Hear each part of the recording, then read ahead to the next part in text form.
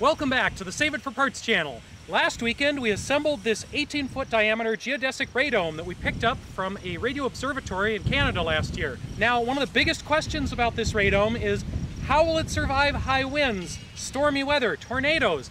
We're here in the Midwest and while Wisconsin doesn't get a lot of tornadoes, it's not unknown and so this could be something that we don't really want rolling its way across the countryside if the wind is strong enough.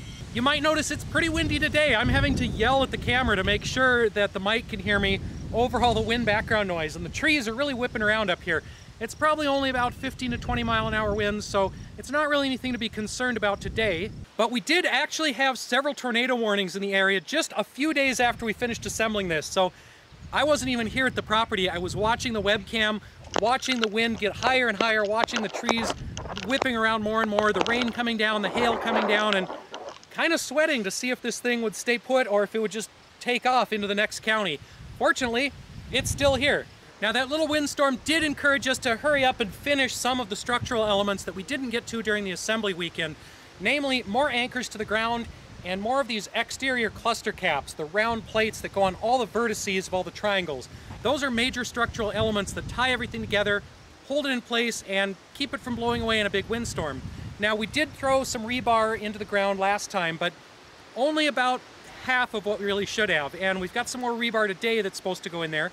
Under normal operations, when this was new, when it was actually in use at say a radar missile warning station up in Greenland or someplace, it would have been bolted down to a tower, it would have been secured to a cement foundation, so it wouldn't have gone anywhere. It's rated for up to 150 mile an hour winds when it's bolted to a firm foundation.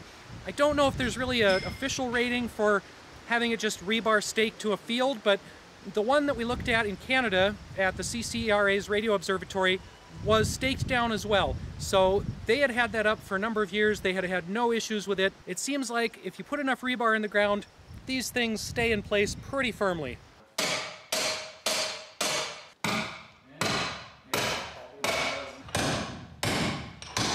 It's also a giant greenhouse in there with the sun beating down on it, so it's like 20 degrees warmer inside the dome.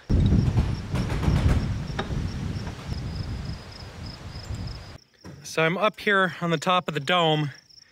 This little jumping spider has been just following me around the whole time. I think it's really curious about what I am. Just uh, jumping around, running around the dome. Very friendly little spider.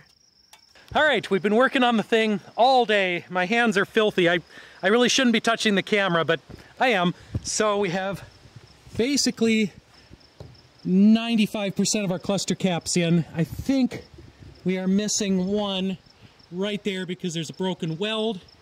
And then we are missing the one at the very top, if I can even focus on it. There we go. It's so hard to see anything on the camera in here. Everything looks the same. We're missing that exterior cluster cap.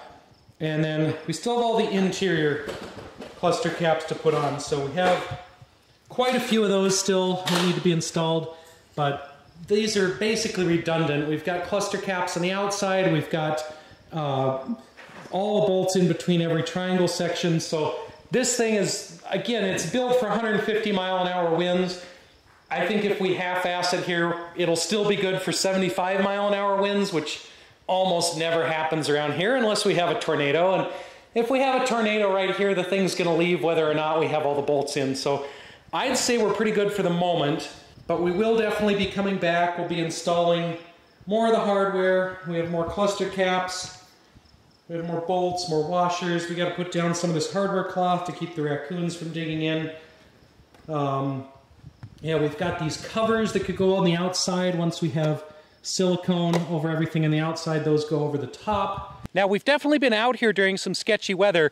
We camp here in the former Minnesota Zoo monorail, which I've shown in plenty of other videos, and there's been a couple nights where we've been camping in the monorail and the whole thing has started to tip and shake from the wind. So it definitely gets a little spooky sometimes. Um, the thunder and lightning are fun to watch in here because there are so many windows and it stays mostly dry. Every now and then we get some water dripping into the thing. But you know what? We're camping in a monorail. It's still better than a tent. Now, if we're ever out here at Sandland and there's an actual tornado, we do have a place to go hide because we have the tunnel system here.